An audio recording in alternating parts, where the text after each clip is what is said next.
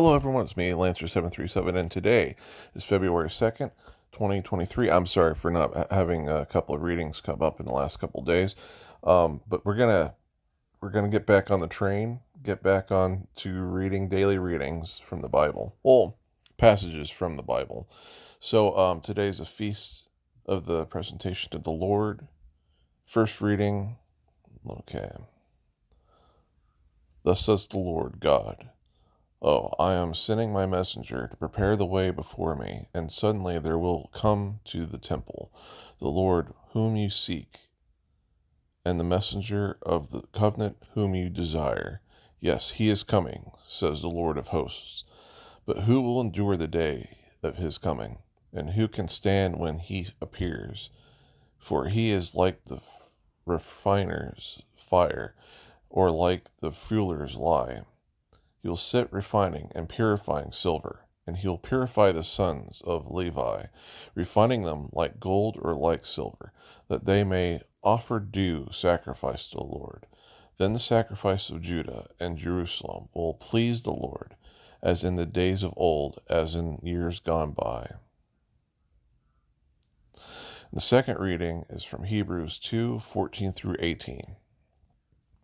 Since the children share in blood and flesh, Jesus likewise shared in them, that through death he might destroy the one who was the power of death, who has the power of death, that is, the devil, and free those who through fear of death had been subject to slavery all their life.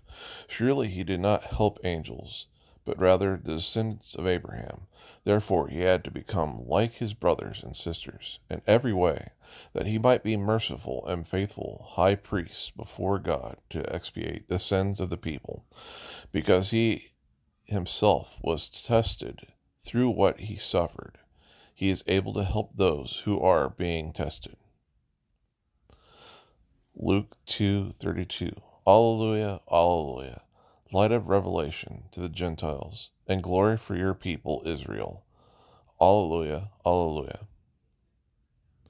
And the final reading today is from the Gospel of Luke 2 22 40. I'm going to do just the first one.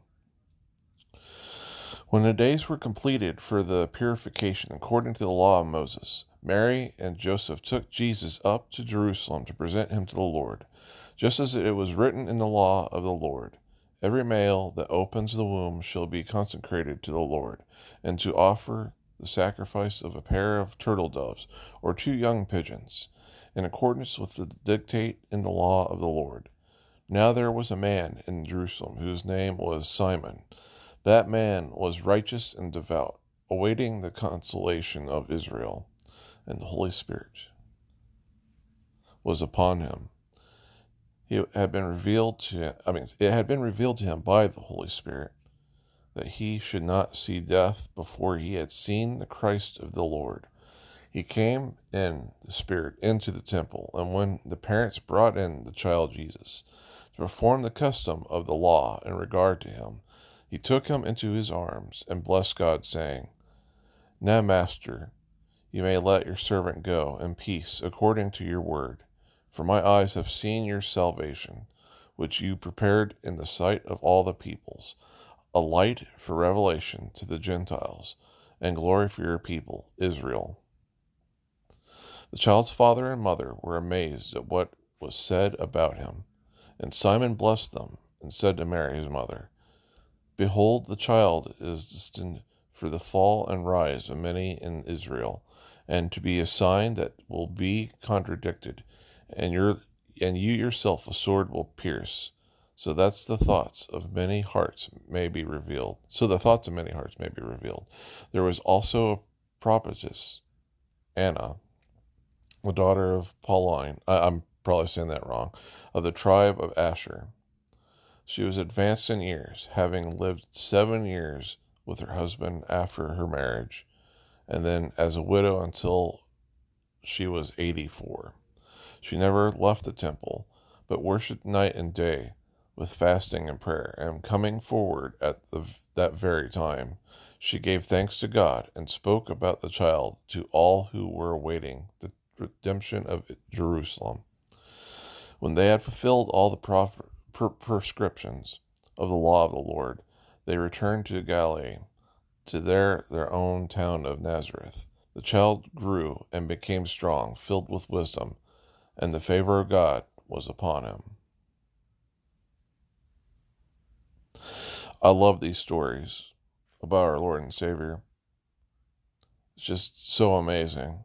I'm very thankful for him and what he's done for us. And I'm thankful for all of you that are listening and everyone that's not listening either. anyway, peace be with you all. I hope you like these daily readings. I hope it, it brought lots of meaning to you. This is the living word, and it can help us in so many different ways. It, it can apply to things going on in our life, and it's amazing because um, I'll have things going on, and I'll just do a reading, and that reading will have a lot of parallels with stuff that are happening to me. That that's somewhat what we're talking about with it being living word. Somewhat. But um, Jesus' promise and what he's done for us, that is the greatest thing. Anyway, peace be with you all. I hope you have a good Thursday and have a blessed day.